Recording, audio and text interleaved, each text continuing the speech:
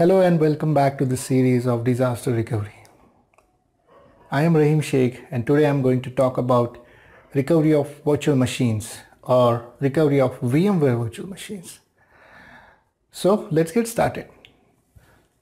So nowadays every organizations are behind a virtualization and they they they have uh, some part of their uh, organizations and servers are virtualized.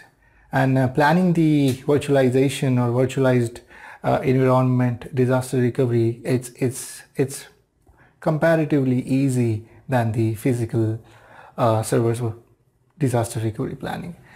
I'll explain you how. Um, so so what are the ways to do the virtual machines recovery? There are many ways. Uh, if you have entire uh, infrastructure virtualized under uh, VMware, uh, the VMware itself came up with the product called Site Recovery Manager, and that is the one of the famous, famous uh, something SRM. That is one of the famous product is available in today's market for virtual machine disaster recovery planning. Uh, SRM has a two features, two main features. First important feature is SRM is is automation for recovery. Okay, very few people uh, understand or, or there are many people who think that SML, SRM do the replication. No, SRM does not do replication. For replication, you have two other options, whether you do it on a storage or you do it with the help of VMware feature called vSphere replication.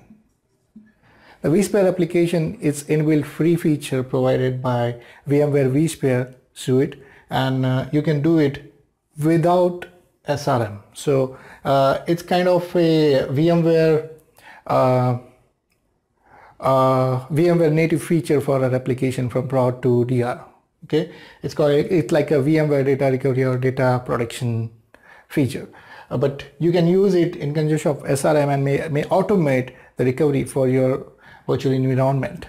So I will be talking how to implement the SRM and how SRM works in in in couple of minutes. But let's get started about what are the other ways to do the recovery. So I'm coming back. So there is a way first way is backup that is always available for any disaster recovery planning. You can go with the backup. The backup is most traditional way for doing a disaster recovery. Second you can replicate the storage where your virtual machines are residing. Third option is uh, you can use SRM and the replicated storage or vSphere replication with these three options, you have to select one of the suitable options for your setup. Uh, let's talk about the replication and vSphere replication. These both can be achieved with and without help of SRM. So I will explain you how to do the uh, recovery without SRM by using replicated storage or vSphere replication. So let's get started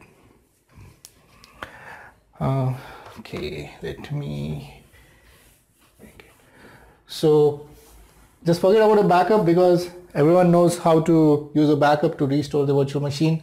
Uh, I will not spend too much time but just let me explain very high level. If you have a production system and you are just production server all virtual machines and you're backing up those virtual machines and you are if you're planning to do the restoration of the virtual machines uh, you just need to make sure that let me just change this. You just need to make sure this uh, backup is healthy and it's replicated to the DR site or shipped to the DR site and uh, you just build your ESXi at DR site.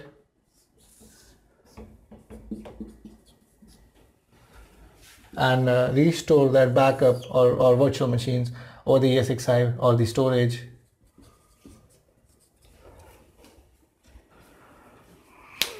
Let me pause the video. Okay, so here we have a production site with ESXi uh, which is connected to some of the storage. And uh, this is our DR site. We also connected storage. This ESX is managed by vCenter so I'm just creating small box of vCenter okay? This is oversimplified diagram of the uh, VMware environment of production and DR So if you have a backup of virtual machines, let's say on this ESXi you have 10 VMs were running which are getting backed up daily and uh, via any backup technology, Symantec or anything and get then getting replicated to this DR site where on, on some, some vault or some backup storage or let's say uh, in this storage or SAN storage which is presented to ESXi. So if you're doing a backup and restore, you just need to make sure uh, your Symantec has the APIs which talks to the vCenter and uh, send the restore commands to, or vCenter can send the restore command to the Symantec backup server or NetBackup server and uh, that restoration happen on the uh, or the storage and it's get restored to the storage and VM gets mounted in the ESXi, added into the inventory in the ESXi. And that's it. It will be accessible and it's powered on and it's accessible for users to use. However, the backup it's always having a problem. Whenever you do the backup and restore, you will be end up with having the high amount of RTO and RPO. Because backup will be older, that means old data, let's say 12 hours or 14 hours or 24 hours. The RTO take times to do the restoration up to 12 hours to 24 hours depending on the size of the backup. Okay?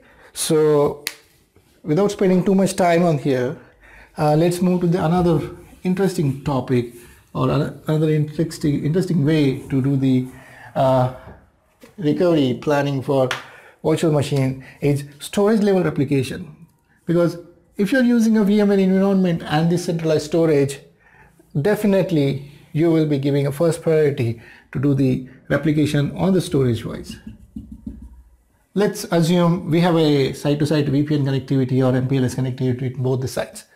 What this will do, like, let's say it's a NetApp storage, and this is also NetApp storage.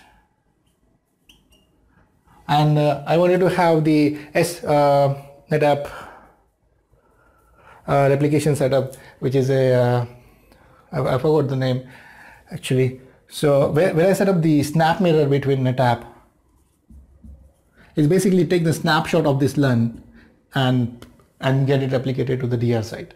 And uh, this DR storage documents or take the snapshots and, and comment that to the DR site. This is basically asynchronous application, but many people use this and proven technology. Uh, I've used this for multiple customers and, and really awesome.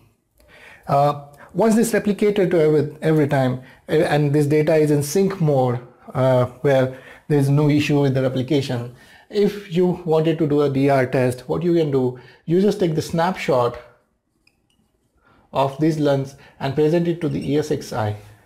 Read write writable snapshots. I'm not talking about the SRM. We are doing the recovery from the replicated storage with NetApp or, or any, any NetApp replication storage. We're just taking snapshot, presenting those LUNs to the ESXi and once this presented you, you as this is NetApp so it can be FC or iSCSI or, or uh, NFS so let's assume this is FC this is presented uh, the ESX admin will go into the ESXi uh, configuration or vCenter and, and it will add those data store and once this data store added you just need to browse the data stores and add VM VM to the inventory if you don't know how to add VM into the inventory, there, there is one of the famous video. If you go in my profile, YouTube channel, you'll find how to add VMs into the inventory.